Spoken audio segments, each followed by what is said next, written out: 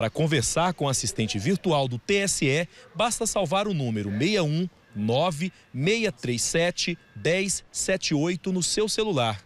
Além desse canal de conversa pelo WhatsApp, o TSE também disponibiliza outros canais, como por exemplo o aplicativo É Título.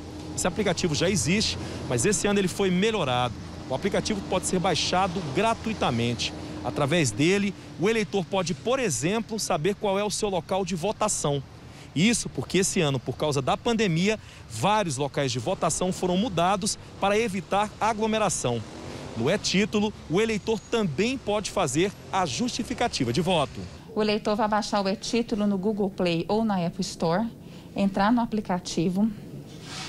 Aqui tem os seus dados, local de votação. Para saber onde vai votar, o endereço, ele vai clicar aqui, vai aparecer o endereço do local de votação. Se o eleitor estiver fora do seu domicílio eleitoral, ele pode ir em mais opções e clicar justificativa de ausência, que vai estar funcionando no dia da eleição. Por meio do aplicativo, também é possível fazer denúncias. Esse ano, ficou mais fácil acessar o app. Basta digitar o número do seu CPF. O e-título também ficou mais acessível para pessoas com deficiência. Outro canal que o eleitor também pode usar para tirar qualquer dúvida é o número 148 do teleeleitoral.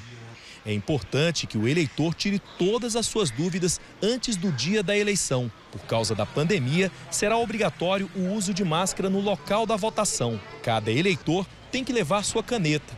E o mesário não tocará no documento que o eleitor terá que mostrar numa distância segura. O horário também mudou.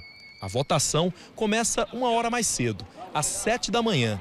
Devem votar primeiro as pessoas acima de 60 anos. Somente depois das 10 horas da manhã fica permitida a votação dos demais eleitores os locais de votação, eles estão, são locais confiáveis. O eleitor ele pode ir, ele vai ter todo o distanciamento necessário. Né? A gente pede para o eleitor também usar o álcool gel, manter o distanciamento.